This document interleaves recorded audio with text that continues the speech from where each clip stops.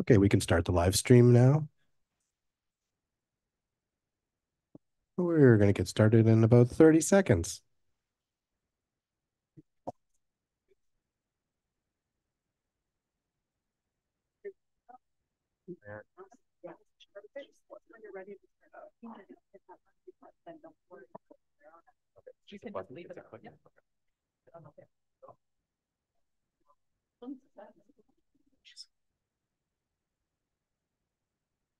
Are we good?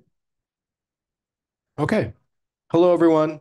Welcome to Concordia University's fourth space, and thank you for joining us for today's event, Prototyping for Game Design with Behaviour Interactive. And to help situate you, we are streaming to YouTube live from FourSpace, and we are located on unceded Indigenous lands in Tiohtià:ke, Montreal. Here at FourSpace, we work with the university community to help mobilize knowledge, co-create daily activities, examine research questions across the university. Today, we're running this event as a live stream Zoom meeting also, and we definitely welcome all comments and questions uh, in the chat if you're joining us there. Those of you in the space, when we get to the Q&A, just raise your hand and we'll get a microphone to you so that everyone can hear. And that's with that, it's very much my pleasure now to hand this over to Associate Professor in Design and Computation Arts, but also the Behaviour Interactive Research Chair in Game Design, Jonathan Lessard. Jonathan, welcome. Thank you. Merci. Bonjour tout le monde. Merci euh, de venir au premier événement organisé par la chaire de recherche en game design, Behaviour Interactive. So for those who don't know, Behaviour Interactive, with representatives here, donated $2 million to Concordia to found a research chair in game design. So that's pretty nice. Thank you, Behaviour.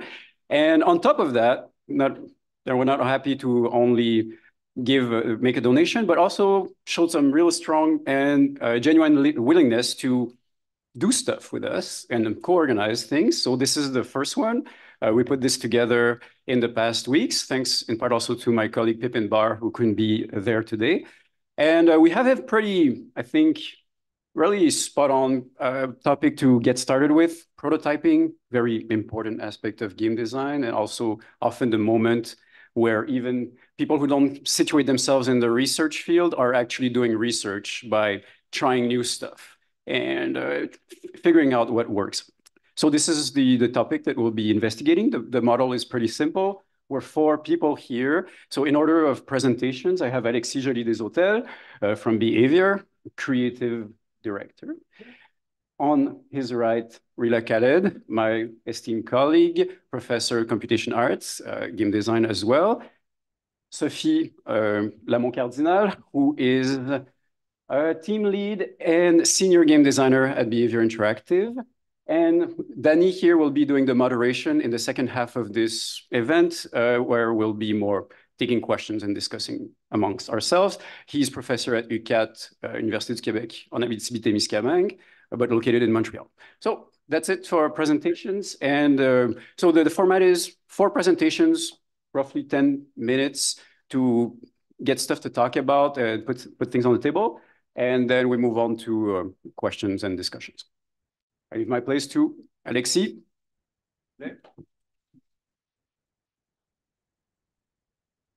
Hello, everyone. Thanks for having us. And uh, I want to extend my thanks also as a video game professional. I think I'm supposed to describe myself now, but also a lover of research. And this is not in a popular opinion in my field. people doing games don't like to waste their time reading stuff and talking to people. I mean, it's not true, but mostly, mostly true. Uh, but I'm a big uh, lover of research and academia and stuff. So I'm really glad about this uh, cooperation between our two institutions. And I'm super glad to open up because I'll be the most abstract and then you'll get useful stuff from the actual people doing prototyping. So let me just uh, get in focus.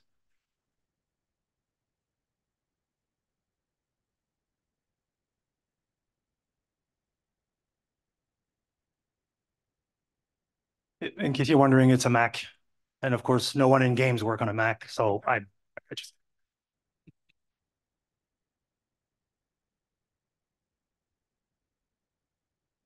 I worked. Um, so I've been in games for 20 years. I've been always in design, uh, although I don't get to design as much uh, as I would love to these days. Um, And prototype, like I was saying, and research in general has always been really important to me. And so I was really happy. I actually found out that Jonathan, which I've known from before, is holding the chair. So I'm even more excited now. Uh, he's, he's a cool guy. Um, so I was also very excited because at the office, I, I learned that we have a new PowerPoint, uh, PowerPoint template, which is the one I'm using today. And I absolutely love PowerPoint as a designer. It's uh, it's actually my favorite program, although it's I think it's kind of shitty, but I really like it. Um, and I was excited to discover the new template. It's full of beautiful colors. Uh, so I figured I would I would go on and explore that in terms of um, how could I make it the most beautiful and exciting presentation for you guys. Uh, so I started with this, and uh, and then I'll see if this is connected or not. I put it, yeah, maybe. Um, I thought about this title, Prototyping Pearls of Wisdom. And I thought it sounded a bit um, maybe arrogant, but I really stuck to it. I kind of like that title. So I tried the, the, the kind of white font on black first, uh, but I felt it was a bit too like rigid. Uh, so I actually tried the opposite. And then I, I guess I'll just do that. And I went with the other slide, which has warmer colors. And I did black on white. Um, and an animation from the side also. And then I, so I was two hours in my work and I, um, I wondered, what am I trying to say really? I, I could, there was a lot of slides in that template. So I figured like I'm getting lost. So I actually remembered I needed to figure out like, what am I trying to convey here? Why am I building this thing? And I was going for like kind of a cheeky, but profound, inspirational. I needed gravitas. I wasn't really not hitting with these slides. So I, uh, I keep trying this in case it works. So then I found this one that says placeholder, insert image. And that's my favorite slide from the template because I love placeholders. Uh, so I inserted an image. I was looking for something wise. So I went for Pai which is the, the wisest cool guy. And, I, and it really hit a note. I was like, if I use strong visual like Pai I can really convey humor and wisdom. So I knew I was on, onto something right. I tried more dynamic animations uh, for the title which I ruled out because I think they're, they're really not helping the presentation. So I found my way pretty quickly. I knew what I wanted to say. I knew how I wanted to say to you guys. So I started the work. So here's the actual title slide uh, for the deck. These were, I mean, the discarded ideas. I went for this. Um, and as you can see, I generated this image using the Bing creator thing um, which is why it can't spell right almost anything that I told him. But I don't care because I think you, you can all read prototyping pearls of wisdom at the top, even though it's not written that, right? It's good enough. It has gravitas. It's biblical in nature. Everyone gets the reference. Not everyone knows Pai Mei, so that was an obstacle for me too. And um, I stuck with that, and I generated just a bunch of images to talk to you guys. So I just want to share a few quote unquote pearls of wisdom about prototyping from a design perspective. And even uh, as a creative director now, these are still things um, that I get to, to worry about very often, even though I'm not designing the stuff per se. So the first point, the most critical, is this. And actually this one is it's spelled properly, I think. Thou shalt only prototype to find an answer. And this seems obvious, but I cannot tell you how this never happens. You will sit down and you will go like, oh, I know, I know, I know, I know. And then you'll build a prototype. And mostly you'll be prototyping because things are cool. And that is the worst reason to prototype. Actually, it's the worst reason to do anything at all, especially in design. If you design stuff because it's cool, I mean, you're fired. You, you, you, get the idea. So the first thing you need to do is figure out why you need something first. Again, very obvious, very hard to come up with. You're building a game, there's you have a feature list. You know, it's gonna be a, a game with cowboys and horses, and it's gonna be like shooting. So you know the stuff that's going to be in there, but you don't know why it's in there. So instead of saying, oh, I know, let's build a prototype about horse, horses and lassos, you need to wonder, why do we have horses? And a bit like me, when I started with my template, what is it I'm trying to say with this system ultimately? And then I'm figuring out the big why of everything I put in the game, which is the first thing I need to do to design actually anything, but especially for prototyping, which means that I design with intention. So I say, well, I want to do a presentation that conveys gravitas, I need to design a, way to come up with cool images of biblical nature. And then you have your questions set out for you. You have your course and your journey set out for you. So you take that, you formulate the idea into a question. So not let's do this because it's cool. but more like, is this bringing the gravitas I need in PowerPoint? And then you go out and prototype it. So never design without intention and never spend anyone's time with prototypes without intention. It's criminal. Like the budgets are out of control. We don't have time for people to just throw shit on the wall and see if it sticks, pardon my French.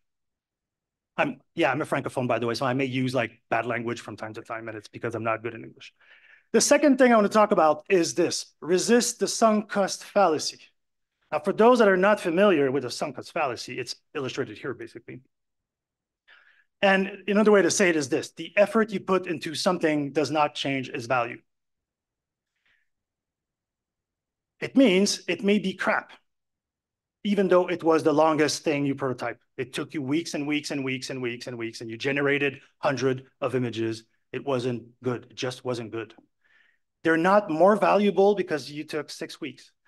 The opposite is also true. These images are not less valuable because I generated them in 30 seconds. They're doing what I need them to do. They're conveying humor and gravitas about prototyping. The image here is uh, someone with very noble intentions, still trying to get out with everything. And uh, that's, that's how the devil gets you, basically. So time box the effort before you start. Always time box the effort. People get lost in prototypes. If you're on a big project with infinite money, you are doomed. You'll be living in proto limbo land for like eight months and you don't even remember where you started. And you're actually down that hole trying to find every piece of gold that is uh, laying there. So always time box the effort because you already have the question. So I need to find, I need to figure out this thing. We're going to allow ourselves ourselves such amount of hours or days, and we're going to accept the results. And then we can reassess, but it needs to stop. Okay, especially you have a lot of free times, free time on your hand, maybe your students, I mean, most of you, so you got loads of free time. You're going to be prototyping nonstop into the night, and you're going to die uh, out of prototyping, basically, which happens. And basically, what I'm trying to say, the more you carry, the, the faster you sink. This is what you should remember. If you left with all the gold, you won't make it across the river. So that's why you need to time box and don't hoard prototypes and stuff you want to try. You hoard it and hoard it, and then you die. I'm not kidding. Third thing, which leads me to this. Prototypes are disposable experiments. Um, I guess a bit like children. I don't know. I mean, this, I'm going to blame the AI generation here, of course, but my prompt was very precise. Um, I guess my point is this. Oh, and actually, just so you, the system refused to give me the images. I had to reword because I was asking for a young mother throwing a baby into the river and it would not generate it. I was surprised. I was pleasantly surprised. So I had to say a woman smiling. There is also a, a children like a baby falling in the river, and they did this. Um, do not get attached to the result. It, it's a bit of a follow up to the previous point, but it's really important. Maybe you did something really cool. Maybe you actually made an amazing discovery, and it took you a lot a lot of time. So you're putting the sunk cost fallacy mixed with your personal preference, and then you're like, no, this is too good. I need to put it in the game. I knew a designer that spent three consecutive AAA games trying to do diegetic weapon HUD. You know what I'm saying? Like, no, it's on the backpack, it's on the gun, it's on the gun and the backpack. There's a reflection, there's a laser in front of him with the ammo count. For three games, he tried to shovel this diegetic design because it was just too good to let go. But these were three projects where it didn't make sense. It was just crap. And you had to tell him, let it go, man. And he prototyped and he did mock-ups and it's like for hours and hours and hours. So I, I, I didn't have the image back then. I wish I did. I was like, this is your idea right now. It needs to go in the river. if you found your answer, whether it's yes, no, toaster, love it, focus on how it could be done properly. That's also important, of course, which means you haven't done it properly. You're not supposed to do it properly. It's a prototype. It's meant to be thrown in the river. It's like your firstborn, it's kind of ugly. You're like, eh. throw it in the river, try again, or ask someone how to do it properly. So let the experts in. And I'm saying this because nowadays, like I was lucky enough that I, I grew in design without being technically trained. Uh, and that was my chance. So I couldn't do shit on my own. Uh, I could do stuff on napkins and in PowerPoint, but I couldn't do uh, um, really anything else. And I, I think nowadays I see we hire people that come in and they have a lot of, of proficiencies in different fields, which is a risk because it means you think you can do it. You can, maybe you can prototype, so that's great. But throw it away, trash it, and let the experts take it. So what's important for people you're gonna work with is not how you did it. Nobody cares how you did the scrappable prototype. They wanna know what was the question, what was the answer, and what are your takeaways? And then you can tell them, especially if you work closely with a gameplay programmer, you can go, look, this is what I found out. This is the prototype, you can play it. This is what I was looking for. And they'll go like, oh yeah, no, I, I won't do it like that. And they'll have the proper way to do it. And you go like, yep, thank you, better baby next time. And that's what you want, right? Okay. This one is um, this one is easy, but fascinating. So uh, before I display anything, there's a young knight looking for, um, I guess, I don't know, his way home or something, the princess. Should he go left or right? What do you think? Anyone? Really? Huh? Left? That is the wrong answer. I got you. Of course, is the wrong answer. My point is this. The fastest route to the question, to the answer to your question is always quick and dirty. That's the mindset of prototyping. So he can actually make a deal with the devil there and just teleport back to the castle and sell his soul. Well, he'll, he'll, he'll get there like this. You're prototyping. Um, like I said, we don't care how you do it. Find the quick and dirty, like the quickest route to the, the answer you're looking for. And I mean by this, use napkins. I made a joke, but napkins are a great design tool. They're easy to find. You can design in a restaurant. Amazing. Or, uh, or paper menus are good too. Um, Legos, I've seen a lot of very serious prototypes done in Legos, like actual like AAA shooter, cover-based shooter type thing, all done in Lego and actually presenting to clients with Lego boards or animated Lego sequences because it's it's rather quick depending on who you are. My favorite, oh, so you should look up if you're interested. Michel Gondry was an amazing French director. He used to do a lot of um, crazy music videos, and he did one for Chemical Brothers called Star Guitar. And it's just like a train, a view from a train, and you see the scenery and everything in the scenery is part of the music. It's all like composited. So it goes like ish, ish, ish, like that. And he prototyped that in an alley, laying out glasses and oranges and shoes on the floor. And he kind of filmed walking backwards. And that was his prototype. He said, yeah, this is going to be great. It was quick and dirty. And I mean, literally, because he left like a lot of junk in the alley, I guess. Um, my favorite quick and dirty prototype I did was testing an AI. So we wanted to improve the AI for cover-based shooter like we used to do a lot. Um, and it was very expensive to test that out. And programmers were not available. And like I said, I can't do anything with that. So we just basically wrote all these flashcards with behaviors on them. And we handed it out a bunch of designers and we went in an underground garage and we played the level. So one, one person was the player. So as a player, you're trying to get to the door and everyone else was like, you're terrorist number one, you're a guy with an RPG or whatever it was. And everyone had two or three simple rules if player does this, do that. If player is static, move around. If player is not looking at you, get closer, things like that. And we tested out for hours, just a bunch of you know, kids running in a, in a parking with these little flashcards. And we came back with a solid design that was, it was actually prototyped. It was valid. There's no difference between that and coding something half-baked in the engine directly, right? So that's what I mean, quick and dirty. This is making the deal with the devil right there. Always do it. Legos, I don't know, whatever you have. Um, and I guess lastly, um, King does not like kitten juggling.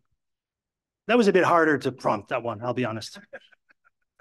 You'll get where I'm going with this. For all that is holy and sacred, never prototype to find the fun.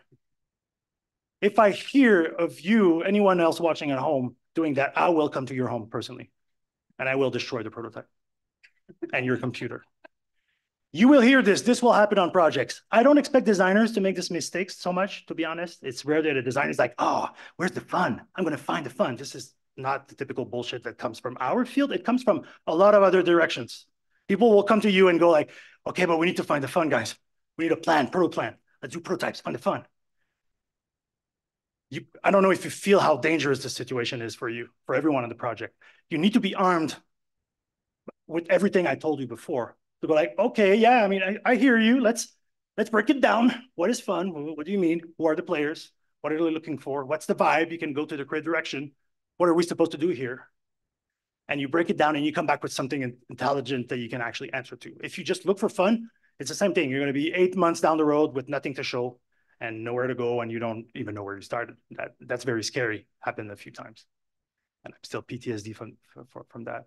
Um, I said, obviously, we design for fun. I take for granted that in 98% of cases, you will be designing for fun. I'm not talking about your weird art project or your serious game. That's fine. You know what you're doing. In most cases, we design for fun. So actually looking for fun is an oxymoron because you would never prototype a system that is not fun. Right? And this is something you can answer back to those people when they ask you.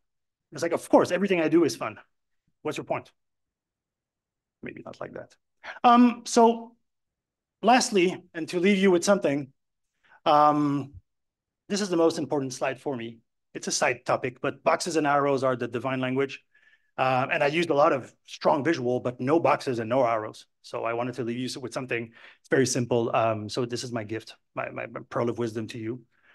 And it's supposed to be written, enjoy this divine bonus, but that's what we have, the golden box. And it's this, this is simple. You can take a picture, print it on a t-shirt, uh, bring it home. This is, you don't need anything else as this, right? Think, you start by think.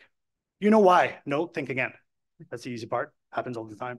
Yes, formulate question, determine quickest route, time box. Then you start. Don't start before that. And if you need answers from other people on the project, go and get them answers. Show them the flowchart and say, I need to know what the, what's the time box, what's the time allowance on this, or the man month. How many, you know, how many guys can I can I disturb with this thing? Did, did you find the answer to your question? No, start again. Or maybe your question is bad, so revisit the question. Then document the fineness, destroy everything, celebrate, sleep, right? So it's kind of, it's actually easy if you look at it that way. so that's all the wisdom I could impart on you today without uh, being more ridiculous than this. And um, I thank you for your attention.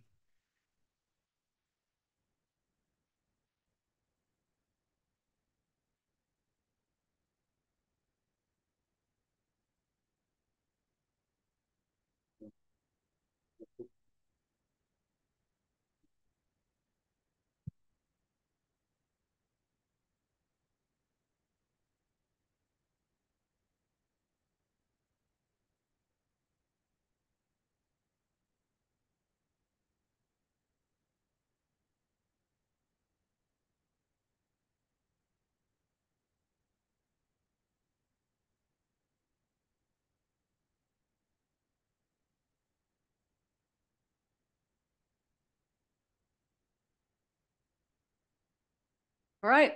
Hi, everyone. I'm Rilla Khaled. I'm an associate professor in design and computation arts. And I am also associate director of Technoculture Art and Games Research Center. I know we have some people from TAG at the back here. Hello. Hi. And I can also see uh, former students of mine sitting in the room, which is very lovely. So here we go. I think it's very funny, actually, that Alexei started talking about black on white, and then also white on black. And in fact, I was actually seriously annoyed by your talk because there's a lot of overlap. He got to say the things first. Remember, I said them last. All right. So, my wigs. I showed my husband my talk and I, I showed him the wig slide and he immediately started grimacing. And I was like, yes, I've got to keep that. So the wig, one of my wigs is uh, my designerly wig, right? Another is my researcher wig. And my third wig, it's my professor wig. Okay, so other people in the group today are going to talk about the designer perspective. And later on, I'm going to talk about my researcher perspective. But for right now, I'm going to focus on my professorial perspective. And I'm going to revisit fundamentals of prototyping that have continued to remain true over the last 15 years of my career. So I teach a class called DART 601, Research Methods and Design, which is part of Concordia's Masters of Design program. And every year, our cohort includes students hailing from different design subdisciplines. we have architects, we have industrial designers, we have interaction designers, and of course, we have game designers. So every year, we pick up the conversation. What are the qualities of a good prototype? And in true uh, nutty professor form, what I like to do oh my God, I get the plot synopsis of the nutty professor here on my watch. Wonderful. Later, tell us later. I'm the nutty professor, okay. What I have all of the students do is I make everyone come up to the front and throw down their ideas onto a blackboard. So I can see Stephen nodding from the audience because some of his ideas actually made it onto this blackboard. So what we do is we, we get together and as a collective, we work out what we agree on. And this is what we decided we agreed on in terms of qualities of a good prototype. So we'll start with the economic principle of prototyping, which is really just a very, very fancy way of saying quick and dirty. But remember, I'm here to teach you the big words. yeah. All right. So the economic principle of prototyping. The best prototype is one that in the simplest and most efficient way makes the possibilities and limitations of a design idea visible and measurable. Okay, quick and dirty. As little effort and resources as possible when we use digital materials, we frequently slide into the trap of confusing the prototype with the final build. Okay, so the Unity prototype slowly becomes the completed Unity game. And that is one way of doing things, but it is not the only way. And the efficiency to not thinking about the prototype uh, as becoming the final thing is that you're not going to get lost in the weeds trying to build out actual infrastructure. You can focus on the most important details that you have questions about. So if you like, you can think about this as MVP. What is my minimum viable prototype? But this leads to another point. A prototype should be connected to questions. And not just connected to, every prototype should materialize questions. Scientists have the experimental method, form a hypothesis, undertake an experiment and dialogue with that hypothesis, analyze the results, and then see whether that hypothesis is proven or disproven. Designers do the same thing, but our experiment takes the form of answering those questions in material form or realizing them, making them real via prototypes. We have to get our questions out of our heads and into the world via prototypes. These questions might concern whether your design does the thing that you think it does, or perhaps whether other people think that it does the thing that you think it does. And there's no point in prototyping if you can't associate the prototype with a question. And if you can't come up with a question, you'll never know if the prototype provides an answer. But on the topic of questions, not every question is created equally. Some questions are poorly framed, too vague, or too big to be helpful. They start to run into the territory of not even having questions, because a question that is too big is not going to be answerable by your prototype. The scientific equivalent of this is the non-testable hypothesis. And any scientist will tell you a hypothesis has to be testable. So don't come up with hypotheses that you cannot test. Design is the same. Your prototype should be built to be able to answer your question. And don't make the prototype equivalent of asking if God exists. More religious references. so now, in terms of detail, low fidelity prototypes are ones that do not appear to be in true form. And we can contrast this with high fidelity prototypes that do, to, do appear to be in true form. And this is assuming that we understand fidelity as being related to truth. If you use a high fidelity prototype, this has the effect of signaling that you are nearing the end of the design process. So use these carefully. Okay, when you show a high fidelity prototype to someone who is not on the design team, they're automatically going to assume that you are showing them something that is nearing the end of completion. If I showed a Minecraft mod to represent my non-Minecraft game idea to someone, they might reasonably assume that my final concept will look and feel like Minecraft. And they would have responded very differently if I'd showed, shown them a paper prototype of the same concept. A high fidelity prototype is like a material fact. And people generally respect facts. So don't make the mistake of pitching a question as if it were a fact. So this segues us to the next point regarding the role of other people. Prototypes function as boundary objects. And a boundary object in academic academicese is any object that is part of multiple social worlds and facilitates conversation between them. The social world of a designer is different from the social world of a player or audience member. Your designerly experience of your concepts and your prototypes is going to be different from how your audience experiences the same thing. And we frequently fall into the trap of not testing our prototypes enough with other people. We assume that our eyes and our experience can stand in for their eyes and their experience. But this is not the case.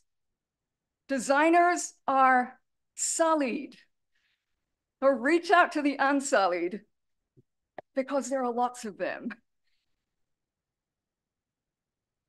All right, on the topic of plentitude, from the early stages of prototyping, consider coming up with multiple options. Okay, materialize the most promising ideas, but in MVP resolution. If an idea has to be X, because you know you have other ideas at play, trust me when I say you'll care a lot less. Okay, because you will have lesser emotional involvement with all of those ideas, with every individual idea. And you'll also have already demonstrated to yourself that you're fully capable of coming up with more ideas.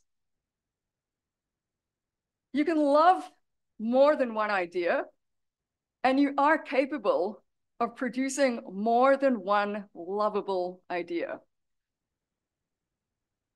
And that brings me to the end of this, this speed run through distilled qualities of good prototypes as agreed upon by multiple generations of practicing designers. For the rest of today's session, I won't only talk about prototyping with respect to my professorial wig, I'll also talk about it with respect to my researcher wig.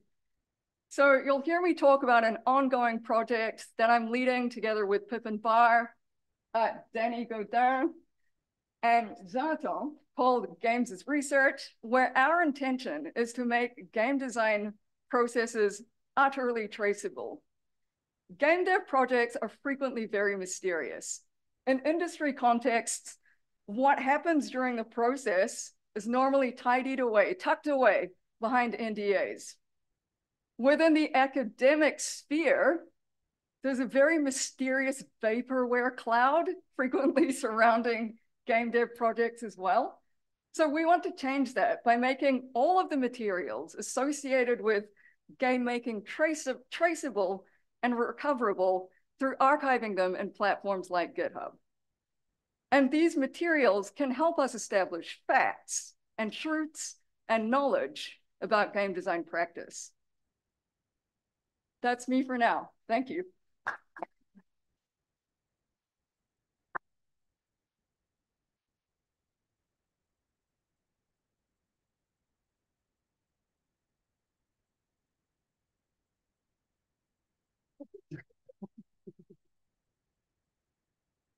Yeah.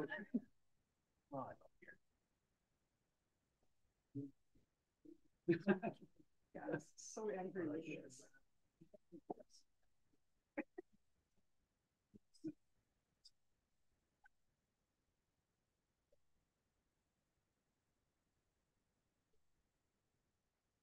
with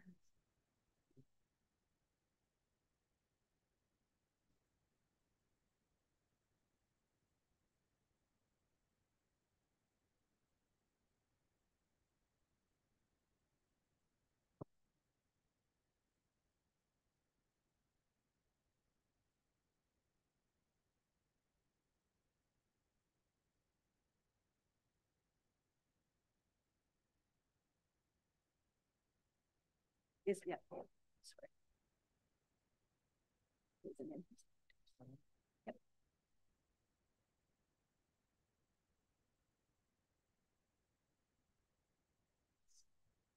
Thanks.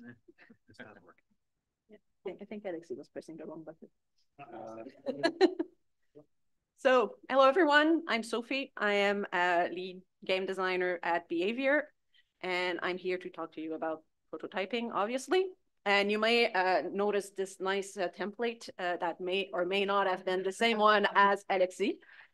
Uh, but yeah, so you're prototyping. You have a great idea and you say, okay, this is what I want to test. You have your question ready. You know exactly what you're going to do.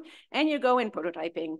You do all of those gray boxes and you have your fantastic prototype. You show it to player and they are completely lost. You have no idea if your game is bad, your prototype is bad, or if they just don't understand. Generally speaking, if your player doesn't understand, your game is the problem, not the player, mark this. But in this case, your problem might be that you're missing signs and feedbacks. So we're just talked about the fact that uh, we need prototypes to be quick and dirty. However, sign and feedbacks are still very important for people to simply understand. So what are sign and feedbacks? First off, signs, they're basically the information that you give to the player for them to understand your game. While feedback is anything that allows the player to understand what has already happened. So sign is before something happens, feedback is after. Here are some examples. So signs. This is an exploding barrel. I know it is an exploding barrel before I shoot it because it's red and it has an explosion sign on it. This is the perfect example of a sign. This here is a door that is unlocked. There is the word open on it. It's written in blue. If you've played Dead Space, you'll know that you'll have the exact same door with a red sign on it that's written closed. This here is a Goomba with a spike on its head. If I jump on it, it's gonna hurt me. So feedback for afterwards, this exploding barrel is on fire. It has just exploded. I understand that I managed to make it explode. Gunshot in the wall. So this is when I shoot, I know my bullet has gone to this. It could be also inside bodies, though usually that's more dead bodies with blood on them. And here we have the uh, heartbeat in Dead by Daylight. So I put this example specifically because if you played a PC game, you're only gonna have sound. And feedback is not only visual, it's also sound. It could be tactical, uh, though if you want to have tactical feedback in your prototype, you need to have a very specific questions to answer. Uh, in this case, in the mobile version, we put a visual feedback because most people on mobile don't play with sound.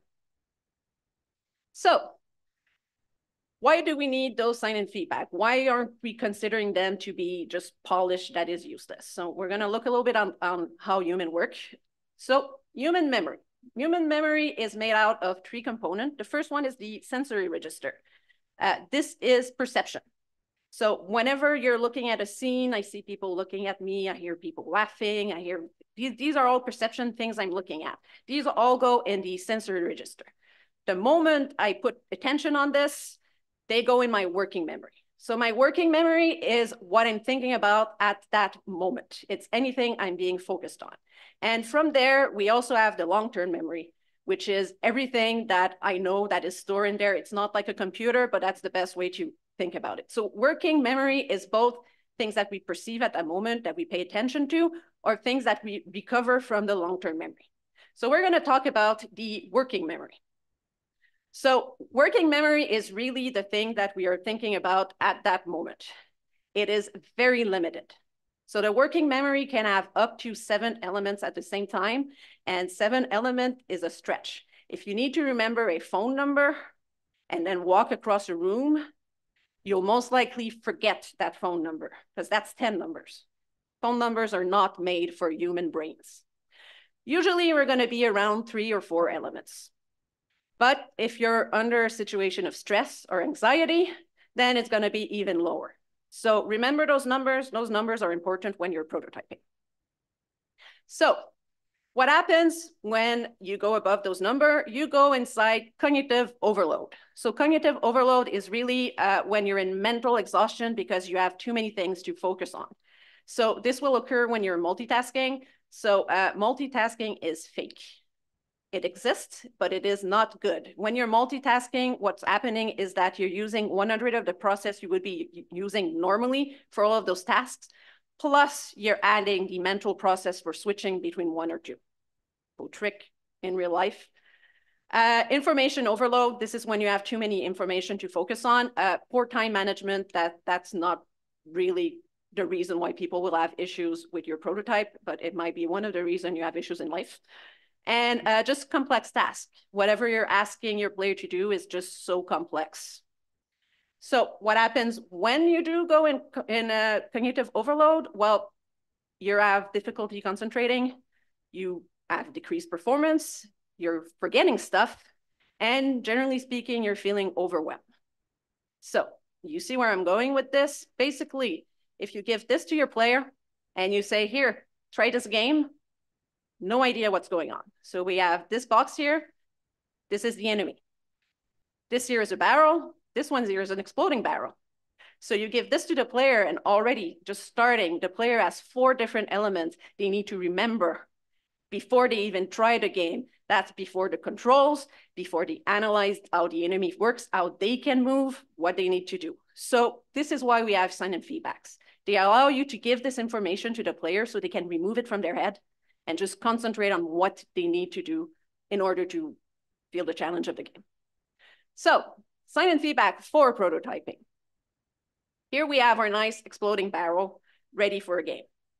Here we have the feedback of the exploding barrel also ready for a game. So I'm doing a prototype. This is my barrel.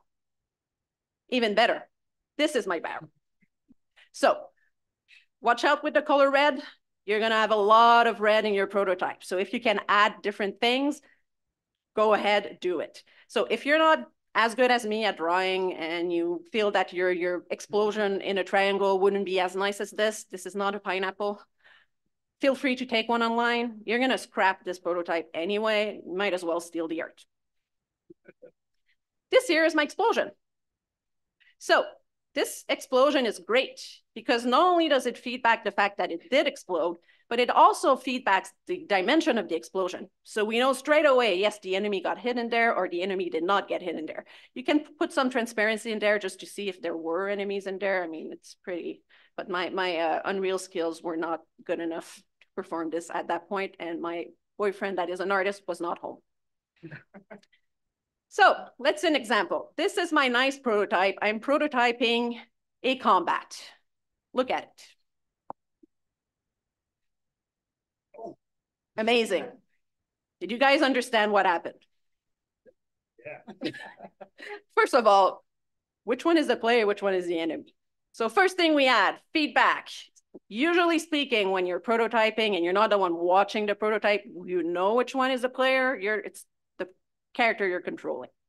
So we'll put it blue. The reason why you do want to have a color for your player is that afterwards you can associate this color of the player with other elements in your map and say, this is a player connected ability. So you use one of those icons you stole from the internet, you put it on a blue background and you know this is a power up. And then we put the enemy, I put them orange because as I said already, the color red can be dangerous. And obviously I'm gonna be using the color red later. So now we have this upgrade. So now we know that the player is the one who defeated the, the enemy. Good start. Next level. I don't remember what it is, so I'm gonna make it blank. Oh, feedback. Now we know that you have actually attacked the, the enemy three times. We get feedback for it, but you also got attacked once. Last version. Apparently the enemy was looking the other way, which is why it took so much time for him to get attacked. So you see, in this case, maybe I want to prototype backstabbing. And being able to know where the enemy is looking is really going to help me with this. You can also go with arrows. Alexi likes arrows. You can just put an arrow showing where they're showing. I personally like eyes. so I put eyes on my character, makes them look cute. Last, last step. This one is optional, animation. You see my nice animation? That was low effort. but having animation is important because animation takes time. And if you are doing a full combat with animation in there, you want to be able to plan for the time of that animation because you might figure out, oh yeah, my prototype is really fun. And then the moment you take it out of the game and you put your animation in there, suddenly it's not working anymore because you forgot that, oh, you need to charge up, you need the time, oh, when is my hit, et cetera, et cetera.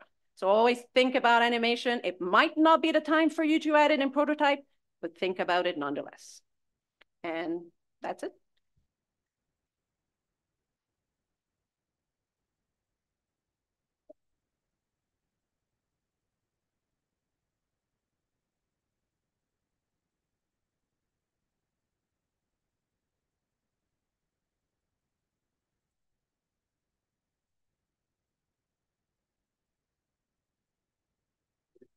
All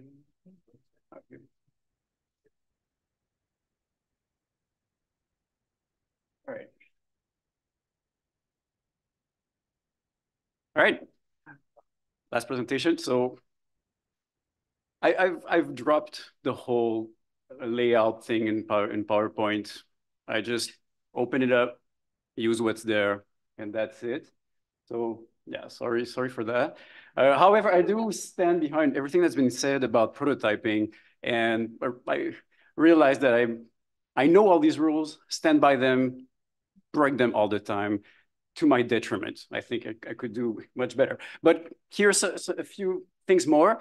So um, building on everything that's been said, uh, I want to just add something is prototyping, it's been pointed at, I think Alexi mentioned it, the idea of being quick and dirty uh, that, that Rilla mentioned as well is it doesn't necessarily, like the shortest path towards answering a question or exploring the thing that you want to answer is not always going into the editor or being technical. That's, that's where you will have the finest answer, like the most quality, luxurious answer to your questions. But that's also what's the most expensive. takes time, especially if you're a solo dev or small team. Every everything is is complicated. So there are other things to discuss, like other boundary objects. I like I like that idea. Something to put it in front of you to talk with the material and see how it responds. So I I, I looked through my own things and saw a whole spectrum of stuff that I made to prototype ideas. So first one, probably, probably in the order of the cheapest to the most expensive, maybe conceptual prototyping is something that I like as well because the idea is to get stuff out of your head. When it's in your head, it's perfect. It's so good. It works. It's fine. And then when you want to land it, that's where things become complicated. And a, an easy way to land it is just flowcharts or mind maps. You like that? I like this one too. Good colors. So this this is a messy one, but that's that was a complicated idea. It had many ins and outs. I had, I couldn't hold it in my head, and so I mapped it, and then I started. It started making sense.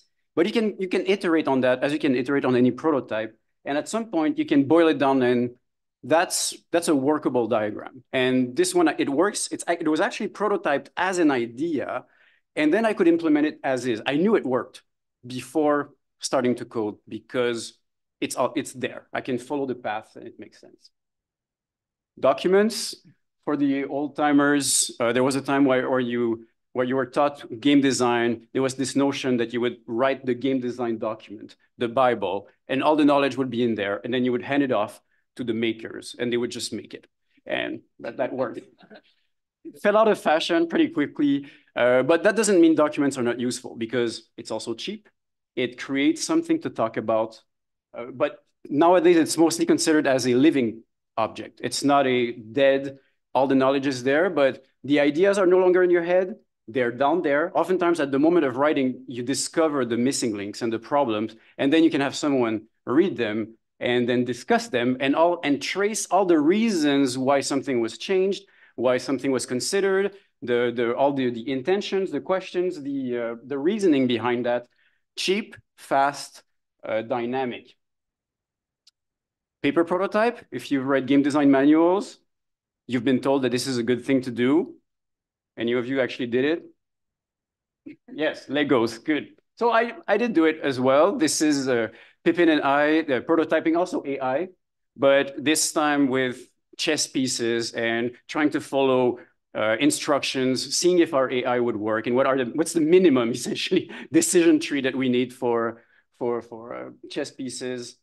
Uh, cards, also useful thing. It's, it's so fast. You can erase them, add stuff uh, that works. But of course, not every, I, every game project lends itself to paper prototypes. Uh, a platformer, it's hard. Like, it, you don't get the feel of it. The maquette, mockups, that's probably one of my favorites. I, as a professor here, putting on the professor wig, uh, I'm always very surprised that students don't do this before sitting down and coding. Oftentimes I, I talk to a student and I try to get them to talk about their idea and I can't even know what's on the screen. Like in your idea, what's there? What do I see? And so, uh, we'll find out. No, I mean, it's so fast. Just sketch it and, and I'll find out. So this is once again for that chess game, sketch it up. This is how I think it's gonna work. Uh, some some things to talk about. It didn't end up looking like this, but we we we had reasons why. A more elaborate one for project a bit, I mean, the prototype does, are not necessarily only at the beginning, it can be at every step whenever you have some question or things you wonder. And in this case, I thought I had a clever idea. Right? And when I look at the maquette here, I still like it. But I, I, learned from it that it didn't work. My idea was that you would walk your path and you would, it was a, a conversation and you would choose your next uh, item of conversation by walking towards it. So it would map out physically the conversation as a space. And like conceptually, it really made sense. And it was, it's actually pretty sexy too. But I, I immediately realized this is going to be so slow. A conversation, especially a digital one, gotta be fast. Like I say this, you say this, I say this, you say this. But here's like walking towards the next thing.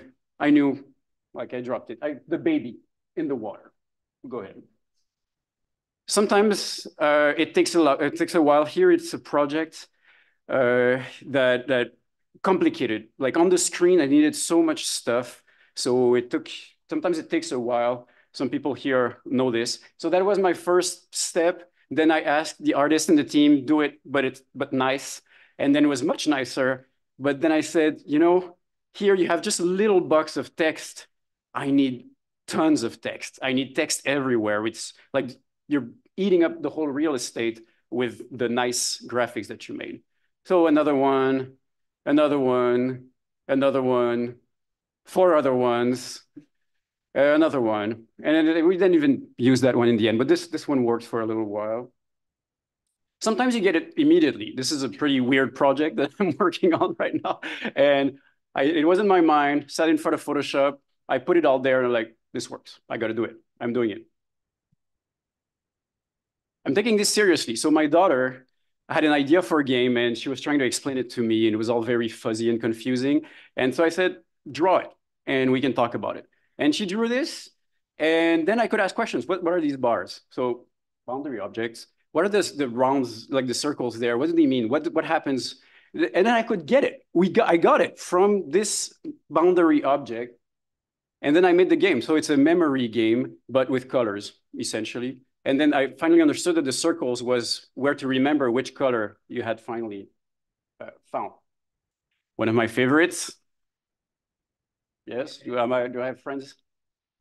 So if you're if you're designing not more about interface but systems, then building the system is complicated, but Excel can often get you pretty far to get a sense of how that system works in time. And that's a pretty good feedback. Like, like here, the graphs, this is a card game, but I want to know these values, how will they change in time? How can I predict them? And like, are the curves in the right direction? Excel, thank you. Another one here, it's not it's not as good looking, but it, was in a in a game I wanted to know, okay, what's the progression of all these stats over time that I can imagine before actually, like I can fiddle with these numbers and fudge them before I sit down and actually test them in the game.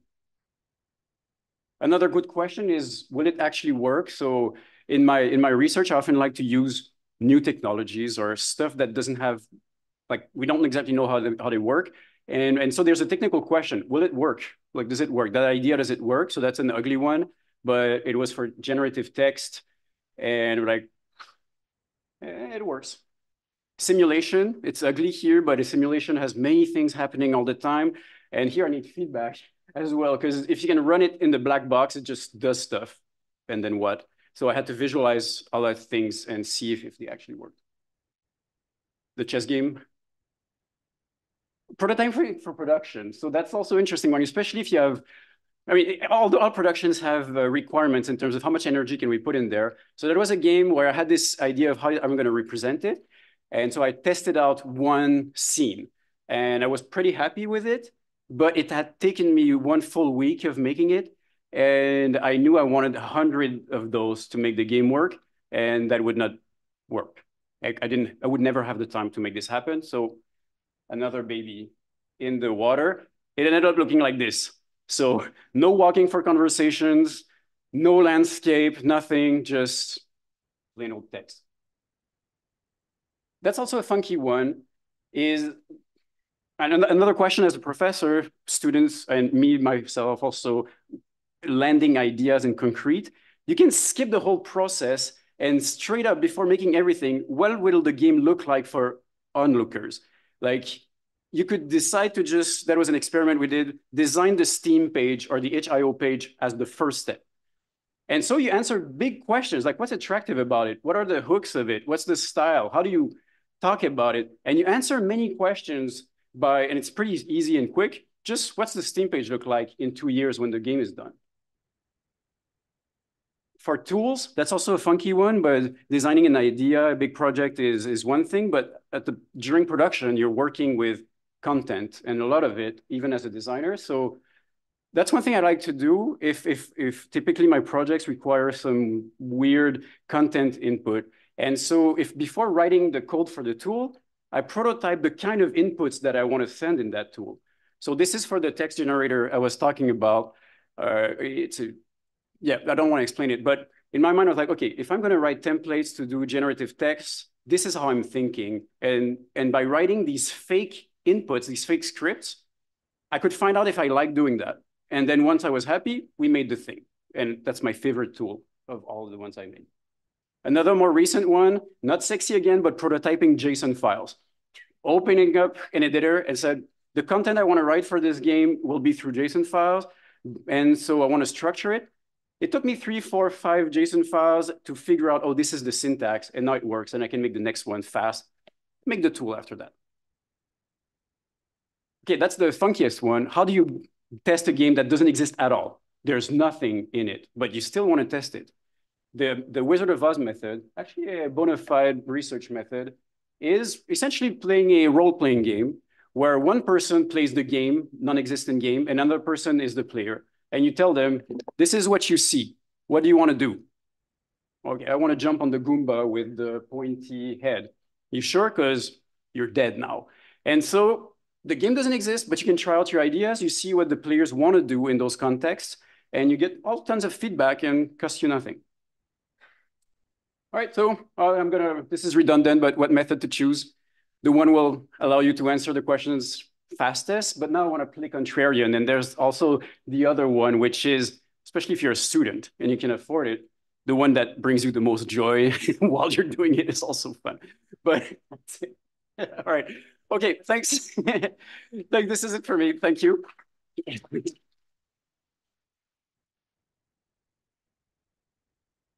And thanks for your attention. That was a lot, but I think a lot of convergence as well. So repeating, if you had questions, keep them in mind. I'll leave the floor to Danny here, who will either ask a few of his own questions or take yours, and we'll share our accumulated wisdom on these topics or just fight amongst ourselves. All right, I pressed the button. Oh, that it works. Fantastic. Uh, I think the easiest thing would be to start with you guys because you probably have a million questions right there and then. Is there someone online, someone who has a question now? Oh, yes. Whatever. Uh, yeah, well, uh, we talked a lot about prototype discarding, and we talked a lot about uh, iterative prototyping, or at least somewhat. Um, and these two are great strategies, but they kind of seem at odds to me, right? If you're discarding prototypes after you're done with them and you're moving on to a final project or something like that, um, how does that factor into iterative prototyping and how do the two conflict, um, if at all? Good question. Thank you. Uh, we have a microphone in the middle. You can go. I'll start with the quick un uneducated answer, and then I'll, I'll let my esteemed colleagues uh, sort of, you know, put some put a bow around it. No, but so I'm, I guess my point is, is why are you iterating on the prototype? It usually means you're not done. And then when you're done, you, you stop iterating on it. So that's like the super short, boring uh, answer to your question. But no, no, they're, they're not, they're not actually contrarian at all because sometimes you may have an initial question you answer the question, which opens up a follow-up question, and then you figure, well, okay, well, uh, this prototype is actually good to follow up on that.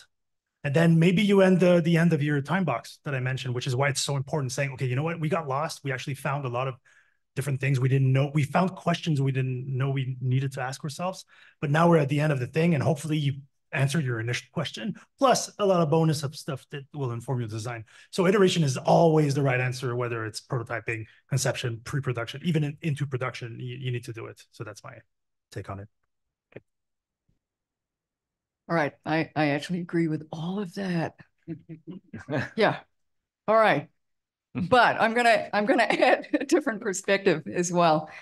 All right, so at the early stages of prototyping, we're doing something very different from what we're doing at the later stages. At the early stage, what we're doing is we're bouncing around in the solution space. And the solution space at that point is still pretty big. And this is why we need to be willing to discard the parts that are not getting us to the right place, right? Like it is, and in fact, that is why it's it makes a lot more sense to traverse as much ground as possible at the start.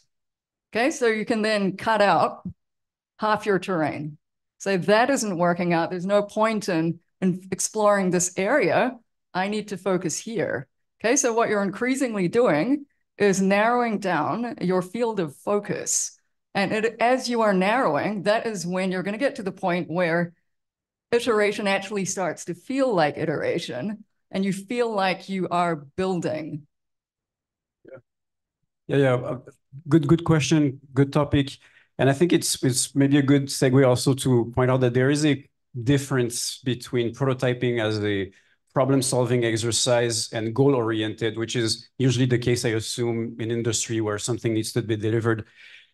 It's, it's a little bit different in the research space because then you can also prototype in an open-ended fashion a little bit more and then be open to discoveries. And so you try something, you had a question, typically I, I think that's usually good, but then the prototype might answer questions that were unformulated yet. And actually the prototype creates questions uh, and then, then, then you have the choice either, okay, it's not answering the question that I wanted, so I'm moving on, or I discard my original question as not as interesting as it I think that it was. And there's a new question, and this is the one that I want to work on.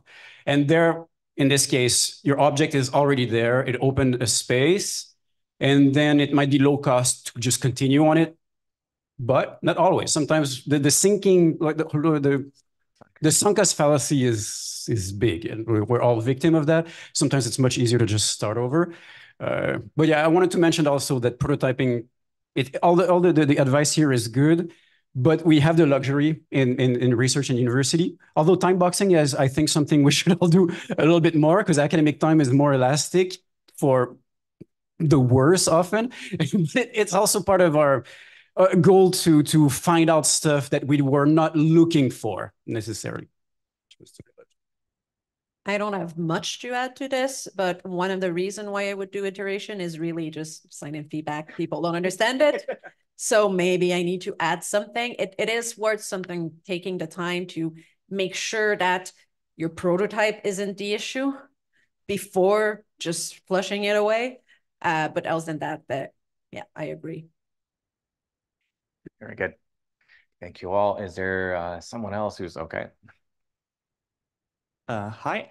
Uh, yeah, so my question was mostly about, so there was a lot of talk about using, uh, what was it called, boundary objects, like testing prototypes of video games uh, using uh, pretty much anything you have on your hand to kind of have a quick and dirty solution, which is something that I I really like doing as a person who likes to design and doesn't like to program. So that's fantastic for me. Um, my only um, I mean, the, things that comes to mind is that I would assume that there is something still lost in translation if you're doing a prototyping for something that is supposed to be a video game programming, you're testing it in, in a medium that is completely different from that. Um, so my main question would be, how do you tackle that as professional in the field? How do you decide which um, alternative medium for testing something uh, would be appropriate depending on your purposes. And uh, if you find out that that was the wrong choice, what do you do then? Like, how do you uh, solve that problem afterwards? Very I good. have the Thank mic, I'll start. Mm -hmm. so uh, the first thing is if you're testing out the feel of a game, how it feels to play, then actually doing in an engine might be the best solution. If you're going with a system and it's only rules and you don't need, only need information about what it's going to give you, then you your choice is a lot more open and it's easier to go in a lot of different things. Yeah. yeah. Just from the professional perspective, I want to add something to that. So of course, there's a caveat. Anything that is it involves the game feel. So basically anything that is in the three C's realm, right? So characters, control, camera, cannot typically be tested. I mean, you could test cameras by being creative and kind of weird and indie, but you really probably will use the engine to test the three Cs.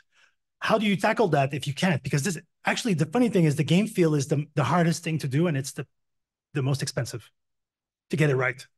And how do you prototype the thing that you cannot prototype because it takes the final version to know that you did it? You can't. So what you do then is very simple.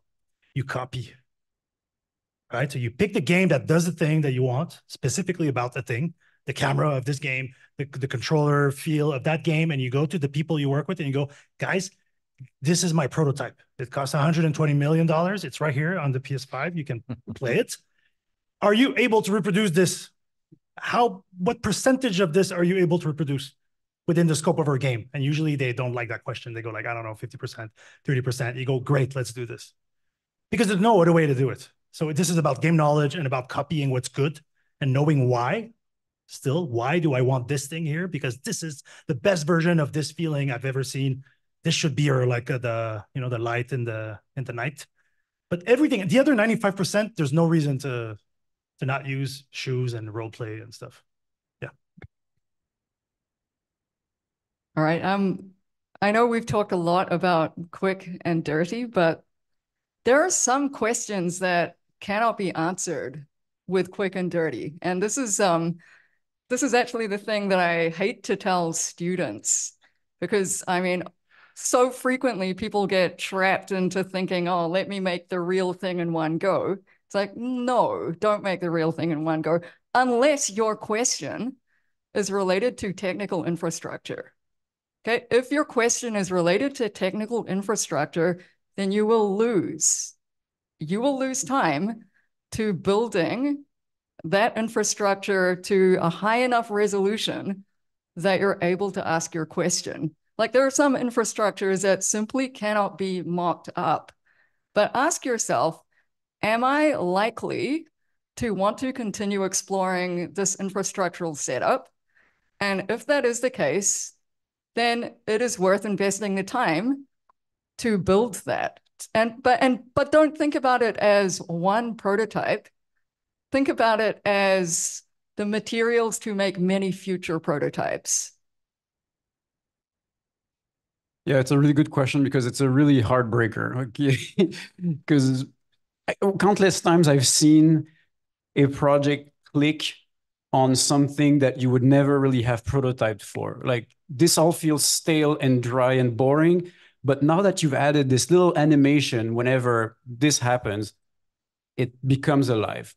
And how would you have known? You know, so yeah, you gotta take some risks sometimes. Uh, but yeah, I don't have a good answer to that. Very good. Thank you. Is there, uh, do, do we know if there's questions online at the moment? Not at the moment. Is there any more questions in the audience? Their hand are hands. Fantastic.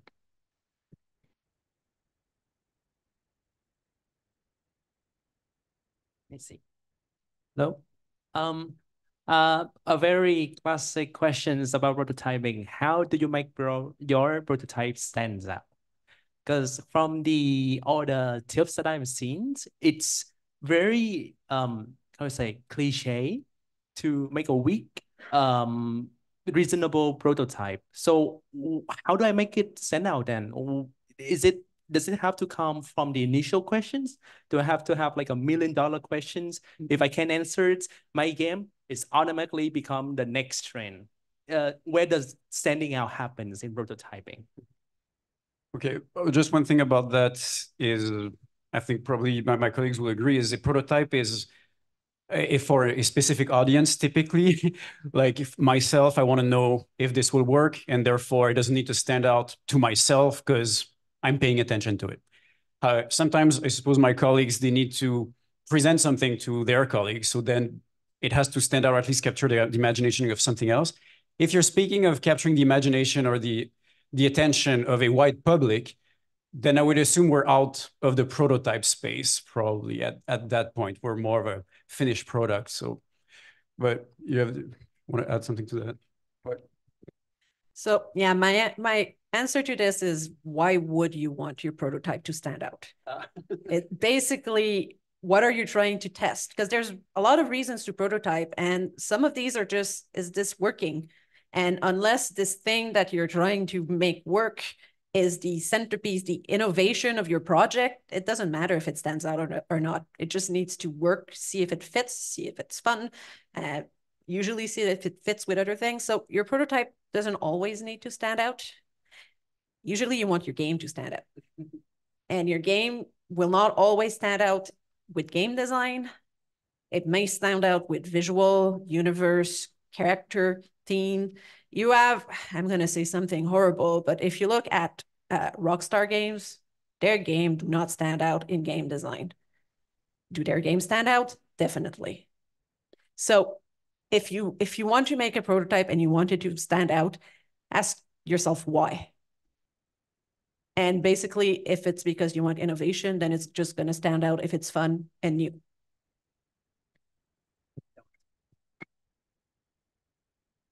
Um, you just reminded me of something really important. We didn't talk. I, I didn't. I didn't have to mention it uh, before. So, as a designer within a project, your client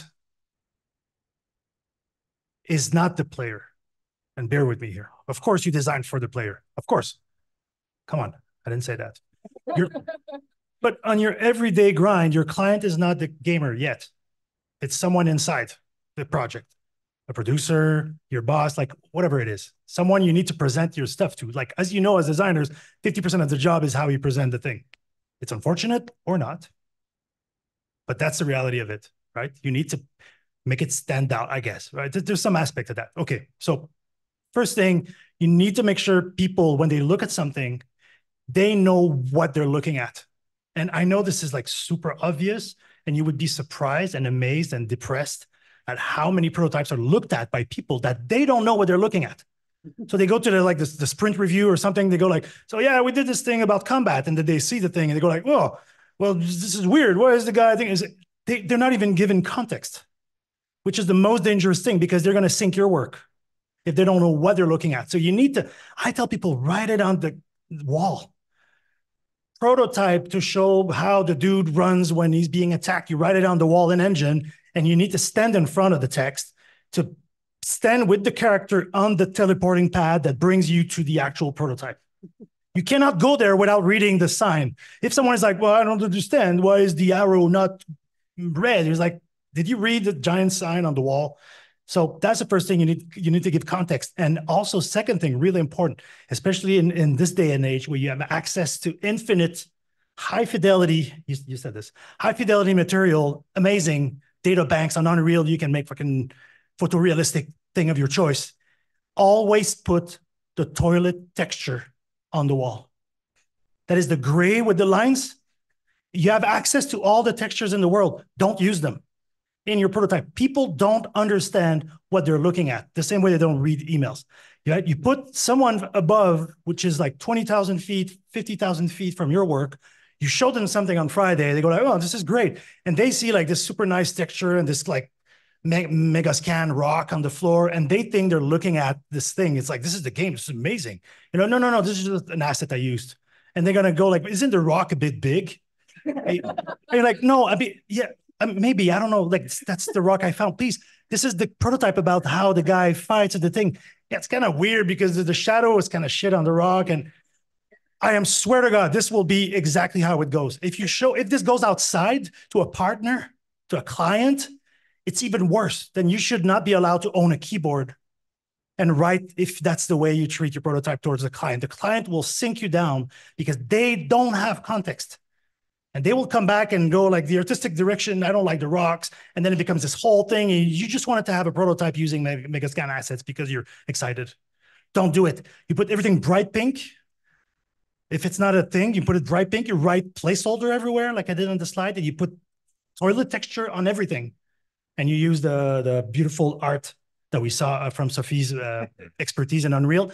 That's what you show people. They're, they're not going to comment on the visual. I swear. Sorry, I had I went a bit long. I had to rant about this. This is, re yeah, really good. I'm just going to add to this because this did happen to me. The nicer your mockups are, the nicer the things you put in the game, the more chance they have to actually ending up in the game or your programmers to think this is exactly what you want them, what you want it to look like. So make your art ugly. If you can't make your art ugly, write mockup on it.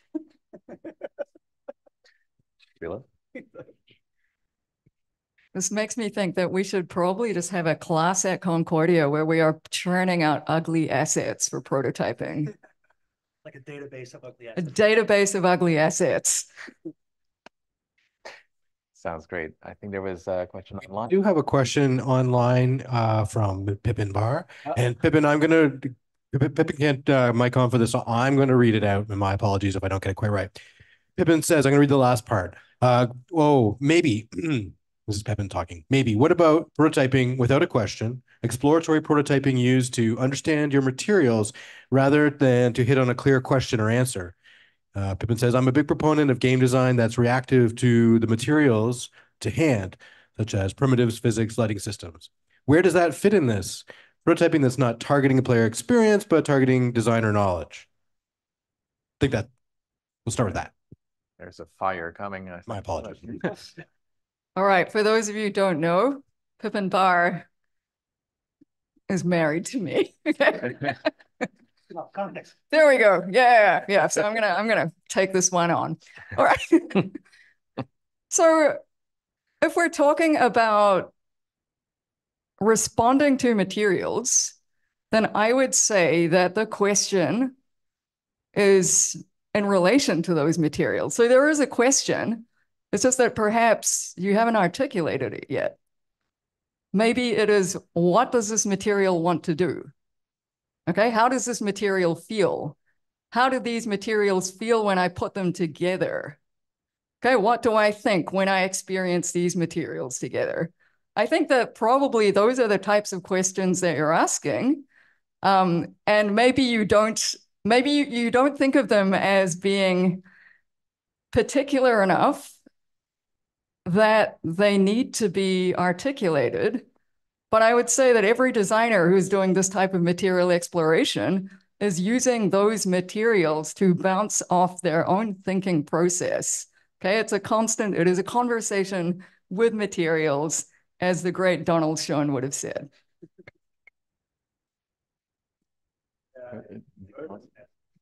Right.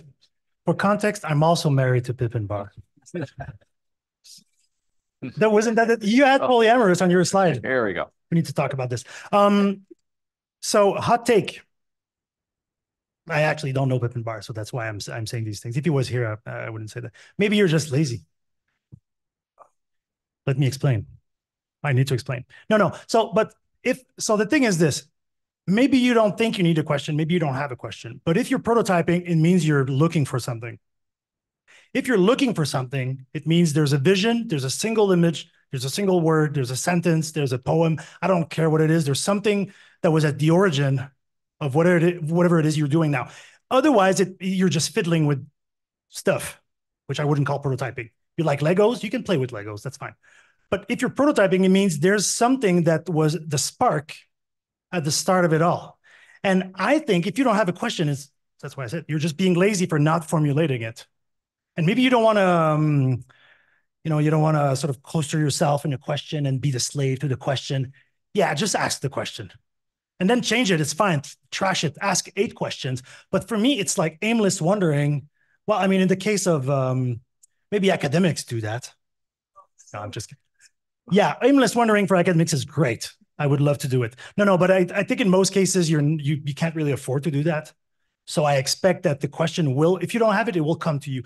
Otherwise, like uh, for me, it's really dangerous. And I mean, in design in general, just not prototyping, but people coming up with. So the, the risk is this: people shortcut. Designers shortcut. You tell them about an idea, they tell you how it works. You all do this here, I'm sure. You're all guilty of this.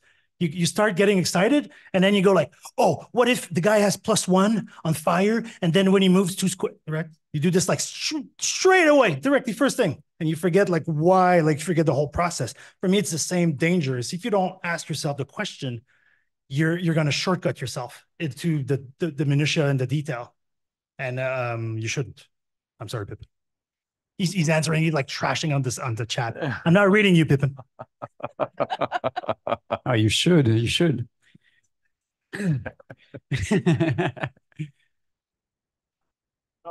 Uh, so uh, I invite everyone to read Pippin Pippin Barr's recent book, "The Stuff That Games Are Made Out of," which is exactly him doing that, fiddling with the stuff that games are made out of, and I mean, he knows how to do this. But I think Pippin he he has questions, but maybe not as clearly defined. Uh, but he's an expert actually at figuring out stuff and posing questions to the material. But I want to take this conversation maybe one step up in general general generality. Uh, game designers. So there's this assumption that making games is a design process. It often is. Probably in, in an industry context, it it has to be or it should be for efficiency, but also making it work quickly and it predictability. Not always the case. But games are also made with a artist hat, uh, and that's a different kind. In this case, is it still prototyping? I don't know. I think artists and designers, they're the same people, but maybe it's just they, they, they view things differently. Uh, they do have questions. They don't necessarily frame them clearly, but they have, as you said, they have something on their mind. You have something on your mind. You're, you don't go at this just, oh, I don't have anything to do. I'll just, no, you're like, what if? Or I'd like to, and then find out what happens. So th there's a difference in the processes here, but that are, that are valuable. And it's, it's good if you have the luxury to also approach things this way. Yeah, the question I see there is, how do you call this process? I would just call it having fun. Basically, if you're not answering a question, you're not really prototyping, you're just having fun with your thoughts, which is, I mean, great. As a designer, it's fun to just think of ideas and oh, what if, what if, what if, and it's it's important to do. It's important to explore those things, but yeah, before that, it's just fun. Research. research. Yeah. All right, thank you. Uh, do we have more We questions? do. Oh, we do. We have a Fantastic. question over here. Hi, this question is for Rilla specifically. Because you mentioned your three wigs of designer, researcher, and uh, professor. And I'm just wondering, I'm going to guess that maybe all those three wigs don't go along in happy harmony all the time. So if you're prototyping, uh, are there times when they come into conflict? You know, how you would approach something or carry something out, and then how do you decide who wins? What a deep cut question. you, you, for those of you who have been watching carefully, I specifically chose not to talk about being a designer. the reason being that when I'm being a designer, I'm terrible at documenting what I do. When I'm being a researcher, though, I'm very good at documenting what I do. Okay, so I do also understand what Pippin's trying to get at there when he asks, what do you call the process of making something to find the question? Because I do also believe that there's a type of flow state that we get into when we're creating. And that flow state does not necessarily involve us being able to put words around what we're trying to do. Right? If we're just in it, we are probably feeling. And for designer me, that's that's great. For researcher me, that's really not good enough. So in terms of how my wigs clash with each other, do I layer them on top of each other? Am I wearing a wig under a wig under a wig? Well, maybe I swap the order of them sometimes. Um, as a professor, I try and express all facets of that. I both try and capture what it is to design and how we should be designing and what best practices. But designer me and researcher me, we are often at odds with each other. Does anyone want to also answer the question? Yeah, I don't even pretend that I can document well my work when I design. I've dropped it. But I'm I'm curious though on that question for to my colleagues. Do you keep good track and journaling and you know keeping documents of where you were at at every given point and why you did this instead of that or is it just like a tunnel of action that eventually goes somewhere well i like documentation i like writing documentation so i have a nice miro board at work which has all of the version that got rejected. but I like that. I'm not the only one on my team, and all of the people on my team don't necessarily do that. uh, I have uh, come into conflict with people that forget the decisions, whether they are designers, uh, creative directors, programmers, clients, uh, so yes, I have found that uh, writing down your conclusion and keeping them and just saying, okay, this was the conclusion, then we switch to this for this reason, whatever the reason. When you're in conception, changing direction is okay.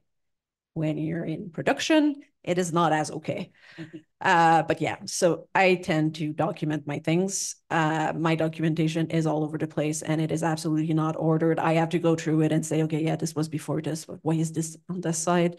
Uh, I've, I've added category rejected ideas and shown, okay, no, this goes in rejected now, even though it was shown. Uh, but yeah, I have no problems with documentation. Can you give it to us? Can you share it? um, and actually something I would sort of recommend for anyone, whether you're uh, working on a student project or in a big company, I think it's the same process. Like usually I like when we're in conception phase, it's more open and we're asking these broad questions. We have to ask questions. Um, and then usually I like to have a weekly objective. So I would state out like this week, we're trying to figure out X and I check in every two days because I figured that two days is enough for not if I'm doing the prototyping, that that's different. But let's say I'm actually doing in-engine prototyping with the help of someone who's actually good with the engine. I tell them I will check in every two days. And then we can change direction. We can even change the question if we're really confident. So there's like a weekly objective and two days check-in. And I only document like in a whatever tool you have, doesn't matter, a paper or Jira for us, which is like a big tracking thing. Like on the Tuesday, we said more blue and larger barrel. And then on the on the Thursday, this is amazing, more barrels. And on the Friday, question answered or not. And then you have this just tracked with simple one-liners that you can always come come back and, and look to. So you don't need to sort of actually archive everything from every build and every gym that was built because this is mental, but at least you have a, a simple tracking and you keep poking the question every two days. You come and like a body, is it dead? And you poke with the stick. No, it's fine. It's going fine. Okay, see you in two days. And you let them run for two days. That's the way I like to, to do it. Fantastic. We're getting closer to five. Is that, yeah. do we still have time for another one or is that, uh, should that be it? There's, there, there's one. I, I see a microphone coming. Hello. Hi. Um, firstly, thank you so much for your insights and your presentations. It was all lovely. I'm like over here. Hi. I'll wave a hand. Um, so quick and dirty. I kind of wanted to sit with that a little bit because as I mentioned it a lot, and uh, as a person who's just kind of starting to like for for my research, like doing research creation projects and thinking about prototyping, quick and dirty as a concept for me is very difficult to like know what those limits and what those boundaries are. So I guess kind of my my my question would sort of be like when is it no longer quick and dirty? When is that at risk of becoming like a little bit too much and then you need to find a new direction or like you're taking too much on and it's not really a prototype anymore? It's something like far too big you need to like scrap it. Like when do you throw the baby in the water and then you like do something else? It's more it's more that kind of thought process. Yeah. I'm sure my my colleagues have a, a, a something to say i'll say just one thing one of the signs to me is uh, diminishing returns because at the beginning every step yields a lot you're like oh I like that. Oh, yeah. No, no. And then at some point, you spend one full day and it just adds a little bit of new information. And then you're feeling that every effort now is more costly and yielding less. So this is to me a sign that like the, the water is calling. So one of the big question is if you're adding to make it pretty, it's too far. You don't need that. Uh, usually you'll have that problem if your, your prototype is giving you a negative answer. If you have your positive answer and you know, okay, yeah, this is the answer I need for this, this works, and this, this is going in the direction I want, then you're going to be fine saying, I'm done with this. And it's really when you're going in the negative answer and this is not giving me the result I wanted, how do I change it to give me the result I wanted? This is when you need to start wondering, asking yourself, do I go further or not? At one point, you need to accept that it's not working. Right. In our um in my research group for games as a research, one thing we've started doing is we've been trying to come up with techniques to ask ourselves as we are making. Okay. So one of those is uh, relates to reflection when you make a prototype, ask yourself, like after you've tested it, ask yourself what, okay, what happened? Or what do I care about this prototype specifically? And followed by what, ask, so what? Why is that important? And then ask yourself, now what? Okay, if you ask yourself those three questions periodically, that should tell you, it should give you enough information to know whether or not you should keep going.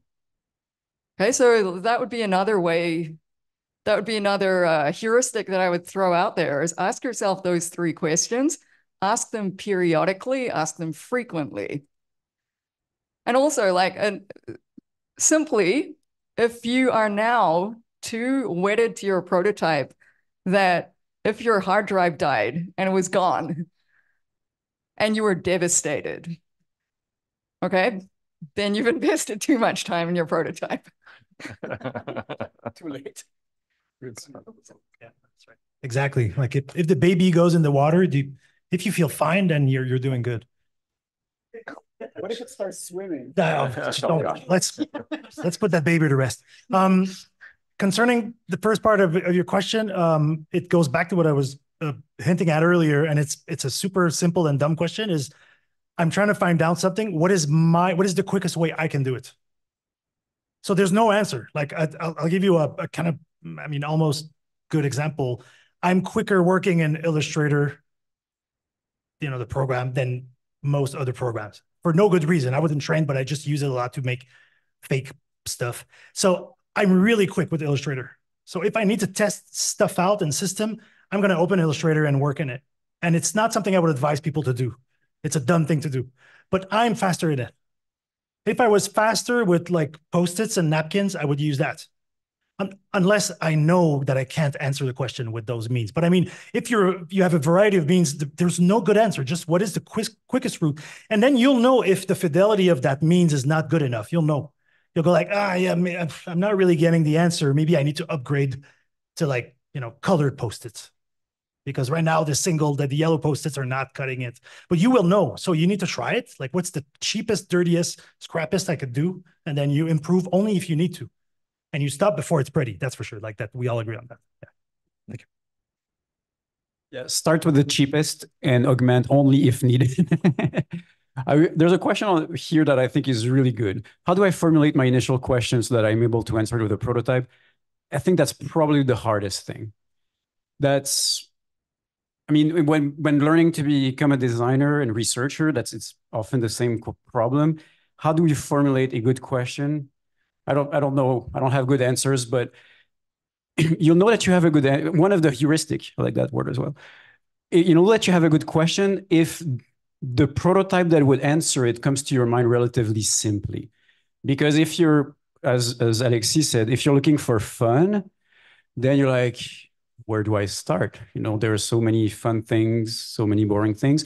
But if like, can it be fun to play around with like AI prompting or whatever to do the, to do a PowerPoint? Like, yeah, I know I'm gonna try this out. I, I have I have the next step. I have the so what. So that would be a good. I don't know how to get the question, but this is how one way to identify it. Supposed to uh, let's do that too. Good questions. I'm gonna say uh, practice makes perfect. you do it, and eventually you know that's not good, and then you get experience and you know better. Like there, there's a question about too broad of a scope. Same thing with scoping. I don't expect my juniors to be able to scope. That's why we have people scoping for them. Do it, scope it out, and eventually you'll be able to do it a lot more easily. All right, I'm just going to reread the end of that question. And when does my question become too broad to scope and answer in a prototype? The thing with design questions is that usually they're getting narrower over time. They're not getting bigger over time. So you're much more likely to have a question that is too big at the beginning. But then ask yourself, how would I, what would I need to be able to test this question? Okay, ask yourself, what would I need to build and how much time would that take? And if it would take you too much time, then your question is too big. Very good. It is a little after five, so I think we're gonna have to call it a day. Um, right, right, right, Yeah, all right, so- okay. You wanna, you have a few words? All Not right. really, maybe just calling it Okay, uh, merci beaucoup pour votre attention. Thanks for showing up. That was actually at least. Hey. I'm not talking to the, I'm talking to you guys, not the, the people online. So, sorry, Pippin. Hi, Pippin. Uh, thanks for showing up. This was really cool conversation. Really enjoyed the, this talk with my colleagues. Hopefully it was useful, interesting to you. And uh, we'd like to do this again, Frico. So hopefully we can organize another thing like that. And yeah, that's it. Thank you. And uh, you can talk to us if you have any follow-up questions right now. Bye-bye. Thank you.